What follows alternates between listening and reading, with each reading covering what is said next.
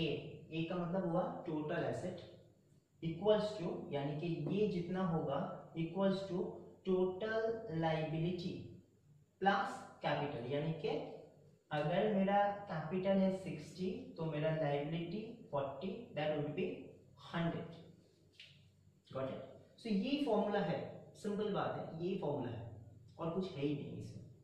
But इसमें भी extra कुछ बात है. फॉर एग्ज़ाम्पल हम लोग जानते हैं कि एसेट में छह एलिमेंट्स होता है। हम पहले भी बोल चुके हैं कि अकाउंट्स में हम लोग का छह एलिमेंट्स होता है। छह एलिमेंट्स से ज़्यादा कुछ होता ही नहीं। कहीं पे भी, कोई भी अकाउंट्स में मतलब सी फाइनल तक भी अगर बात करें तो ये छह एलिमेंट्स ही होता है। क्या क्या फिर से बोलते रहे? Asset liability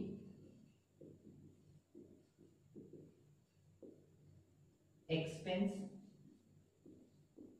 income, loss and profit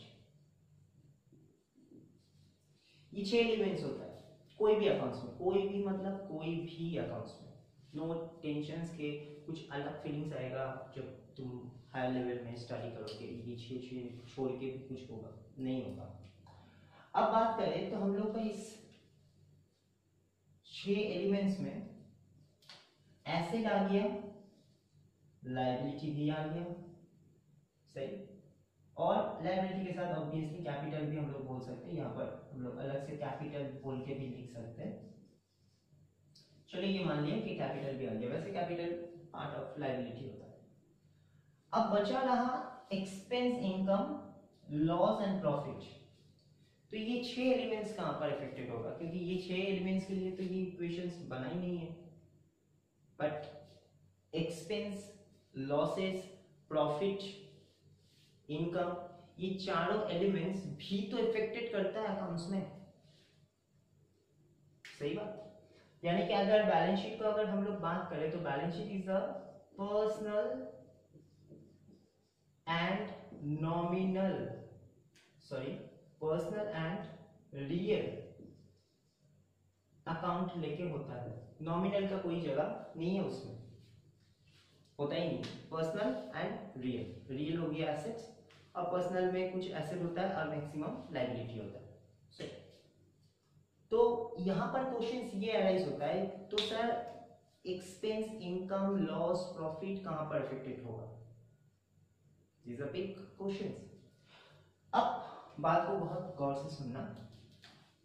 कि एक्सपेंस इनकम और लॉस प्रॉफिट जो हुआ, ये चारों का ही इफ़ेक्ट होता है विद द कैपिटल सर क्या बोल रहे सर कैपिटल के साथ क्यों इफेक्टेड होगा?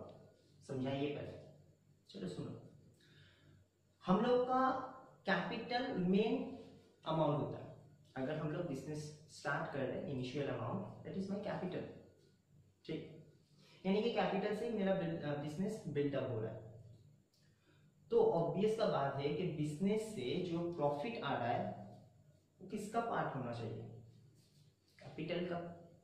मेरा जो इनकम हो रहा है इनकम सोर्स हो रहा है ऑब्वियसली सेल से, क्या और भी बहुत सारा अदर्स इनकम से। मगर वो इनकम होने का जो ज़रिया स्टार्ट हुआ, वो कहाँ से हुआ? सर बिज़नेस से। क्योंकि बिज़नेस नहीं होता तो इनकम भी नहीं होता ना प्रॉफिट नहीं होता। और बिज़नेस कहाँ से स्टार्ट हुआ? कैपिटल से। बात समझ में आ रहा है? यानी कि मुद्दा यही है कि अगर हम लोग इनकम करते एक्सपेंस करते लॉस करते, क्या प्रॉफिट करते, ये चारों एलिमेंट्स इफ़ेक्ट हम लोग का करता है कैपिटल के साथ। यानी ये चीज़ खाली अकाउंटिंग इक्वेशंस में तुम लोग नहीं देखोगे, जहाँ भी तुम लोग कैपिटल बिठाओगे, यानी कि बैलेंस शीट में, कि और भी कहीं पे भी पार्टनर्स कैपिटल बोल के भी तुम लोग का कुछ आएगा मतलब क्लास ट्वेल्व में।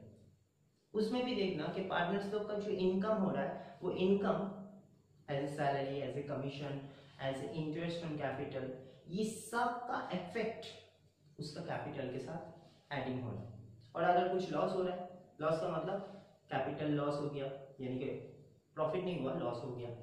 कि विदड्रॉ कर लिया कैपिटल विदड्रॉ कर लिया। सो कैपिटल उस टाइम पे गिरेगा। बात समझ में आ रहा